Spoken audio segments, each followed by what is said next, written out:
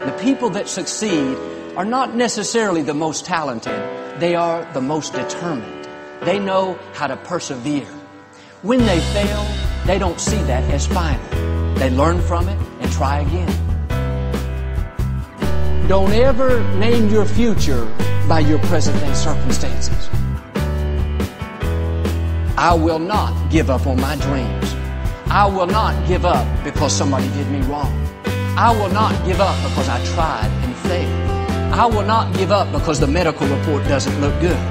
I will not give up because it's taken longer than I thought. I've got a made up mind. I'm going to become everything God's created me to be, and I'm going to have everything God intended for me to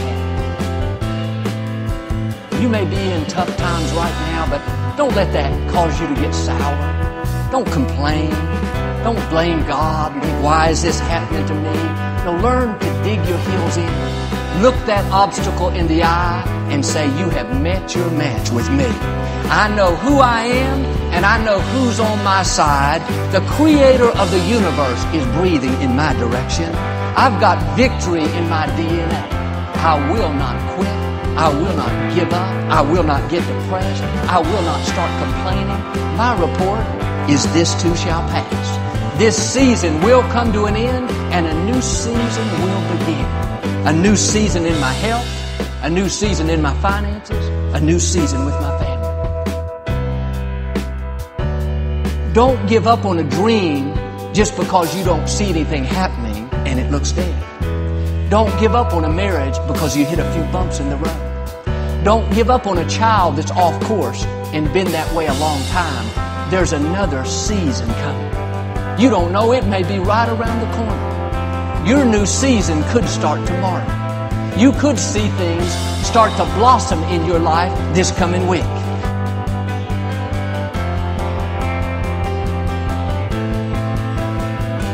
can't allow the setbacks of life cause you to get numb and become indifferent to where you give up on what God has put in your heart. Because you got a double dose of trouble and more than your share of contempt, your inheritance in the land will be double and your joy will go on forever. Anybody can quit. Anybody can give up when it gets hard. Anybody can get discouraged because it's taken a long time. That's easy. But it takes a man or woman of great faith to say, I don't see anything good happening in my life. It looks like my dreams have died. Nothing is going my way. But I am not moved by what I see. I'm moved by what I know. Most likely, every one of us is going through something. Life happens, disappointments, setbacks. I heard somebody say, losers focus on what they're going through, but winners focus on where they're going to. It may look like you're stuck in a rut. You don't really see how you could ever rise any higher. Don't speak defeat over your life. Don't go around saying, well, I've reached my limits. I just don't have the education. I don't have the connections. No, name your future by saying God's face is shining down on me. It may be winter in your life right now. Things are difficult. You don't see any growth. It's kind of dark and gloomy. The good news is spring is on its way. A brighter season is right around the corner. Well, you say, Joel, I don't understand why this has happened to me. Why did I get cancer? Why did I get laid off? Why was I raised in a negative environment? I don't know why, but I do know this. Nothing that has happened to you can keep you from your God given destiny. Life may have treated me unfair, but I know God will pay me back for every injustice. You might have had an unfair past, but you don't have to have an unfair future. You can take the hand you've been dealt and win with it. You know, the harder it gets, the closer you are to stepping out. And if you will just keep on keeping on, moving forward, living with faith and expectancy, being your best each day, one day what should have destroyed you will be the very thing that helps you rise to a new level.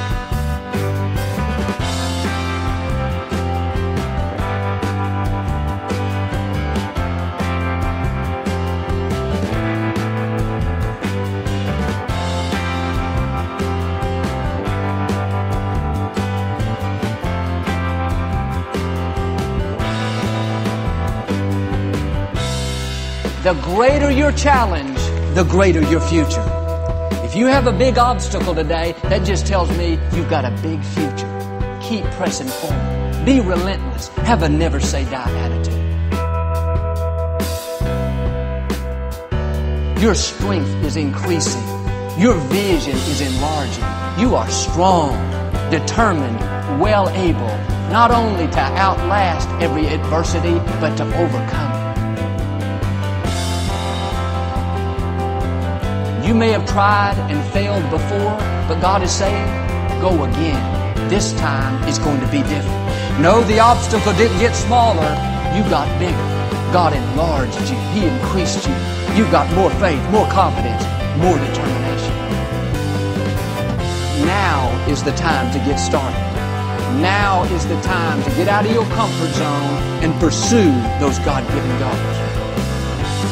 The most important time of your life is the next 24 hours. What are you going to do with the time you have left? You and I can't afford to sit around, waste another year with no passion, thinking we don't have what it takes, in a career we don't enjoy, giving the best of our life to something that doesn't excite us. Well, make up your mind with me that you're going to make the changes and you're going to start moving towards your destiny. That means we're going to get out of our comfort zones. We're going to start stretching we're going to dream bigger. We're going to think better. We're going to act wiser. We're going to rise up and accomplish everything that God's placed in our heart.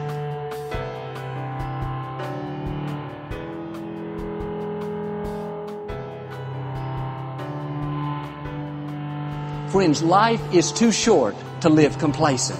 If you're not actively moving toward your purpose, taking steps to grow and improve, then that'll keep you from experiencing life to the full. The scripture says in Proverbs, complacency kills. That means being stuck in a rut, not growing, not pursuing new opportunities. That'll kill your passion, kill your dreams, kill your sense of purpose.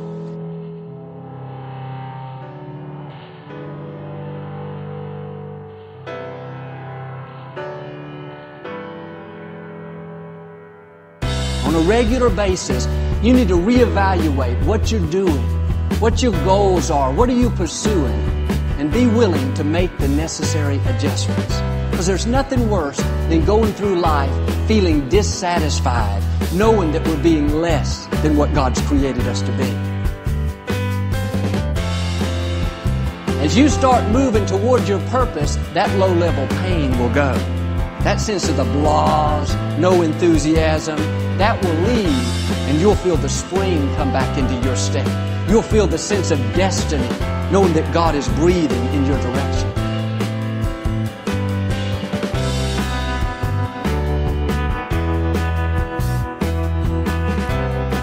Every voice may tell you, no way, impossible, stay in your comfort zone. But God is saying, take a step of faith and write that book go back to school, launch that new website, you still should.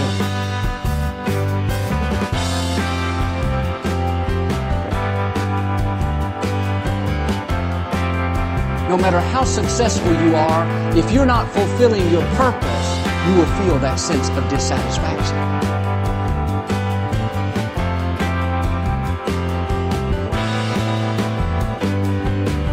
Let me ask you, if you went to heaven tomorrow, would there be something we are missing out on?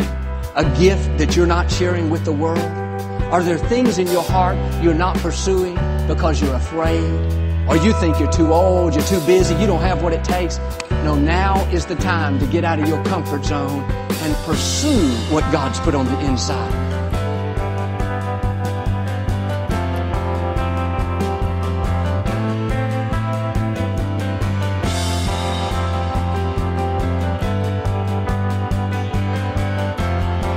Some of you have been putting off living your life. You're working hard, you're being your best, but your life is too narrow. Try something new, expand your vision.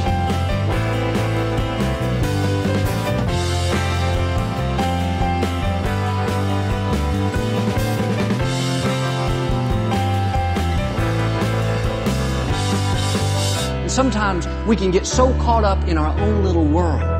If we're not careful, we'll go the next 50 years seeing the same kind of people, doing the same hobbies, going to the same places, and we'll miss the fullness of what God has in store. I'm asking you to dream big. Don't have a narrow vision for your life. When you write down the places you want to visit, don't you dare put Walmart in Conroe the outlet mall in Katy is not going to cut it. Get outside what you're used to. Think big, dream big, expand your vision.